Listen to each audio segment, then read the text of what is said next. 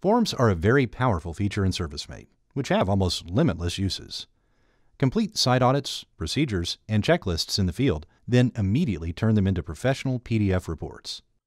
Creating a custom form in ServiceM8 is easy once you know how. In this lesson, we'll take you through the process of building a form from scratch. Forms have two major parts. First, the questions that the user will be required to answer. And second, the form template that you want answers to populate onto, which is then saved in the diary as a PDF. Forms is an add-on, so you'll need to activate it inside ServiceM8 add-ons first. Once Forms is activated, it will appear under the Settings tab. There are various sample form templates available for you to get started. It's worth checking these out to see what you can do. Let's start by creating a new form. For this example, we'll create a simple vehicle safety maintenance check. Click the Add Form button. Enter the name of the form. Enter the badge name. This should be a code and short, as it will appear on a badge from this form. Badge requirement sets whether this form is mandatory or not. In this case, I'm going to select Mandatory on checkout. This means that if the user hasn't completed the form when they check out of the job, it will prompt them to complete the form. We won't do anything with the form template just yet. We'll come back to that after we set our questions. Now, it's just a matter of adding the questions you want to ask the user. Remember, you only need to ask for information that isn't already stored on the job. You can automatically use job and client details on the form to save time. So, for this form, I need to ask 1. Which vehicle are you checking? 2. Does it have enough oil and water? 3. When does registration expire? 4. Take a photo of any new damage. 5. Staff sign off. Click New Question. Type the question out. If the question you're asking could use explanation, add that information here. Set whether you want the question to be mandatory. Then, select the question type. Question type defines the kind of information you're expecting. You can select from Text, Text multi-line for entering longer answers, Number, Date, Multiple choice, single answer, which is used to pick one answer from the list, Multiple choice, multi-answer, which is used to pick one or several answers from the list, Signature, Add photo. For our first question, we need to use multiple choice, single answer. Then we just type out each of the options they can select from, and that's one question down. We follow this same process for the other questions we need to ask. Okay, now that we have entered all the questions we want, let's try it out and see if everything is as we want it. Click Save and then click Preview.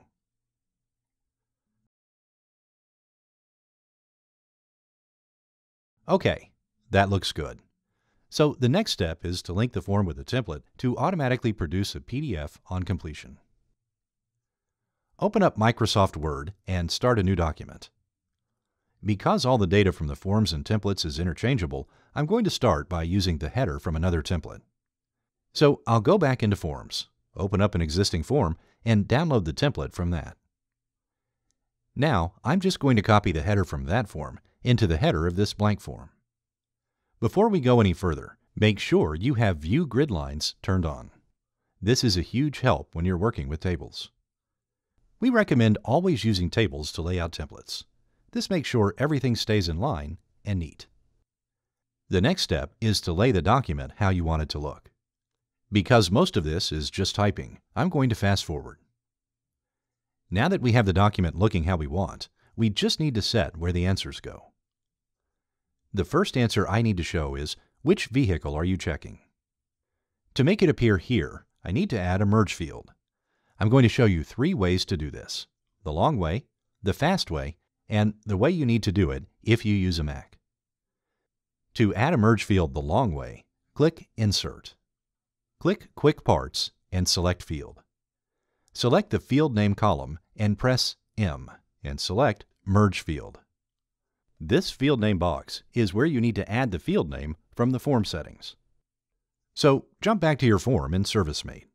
Select the questions you're working on, select the template field code, and copy it. Now, back inside Word, paste the field in. Then, click OK. That's it. The field is now added into the document. Now you just follow the same process for the other fields on the document. For this next field, I'll show you the quick way. We need a field name here, so I'm simply going to copy the field name from here. Paste it here, right-click it, and select Edit Field. Jump into ServiceM8, get the field code for the next question, paste it back in the box, and click OK. It's much quicker to simply copy an existing merge field rather than start one from scratch every time. If you're using a Mac, you don't have the Edit Field option, only the option to toggle the field code. So for this next field, I'll copy and paste the working field from above into here. Right-click the field and select Toggle Field Code. This looks far more complicated, but it's the exact same process. Go into ServiceM8, copy the code. Jump back to Word, and then simply replace the text here. Make sure you only edit the text here, and don't alter the spaces anywhere. So we'll continue the same process for the rest of these fields. OK, now that our fields are in, we can upload this template to the form we created earlier. Open the form, and from the form template, click Select. Browse for the file and save the form. You can test the form again now by clicking Preview to make sure everything is right.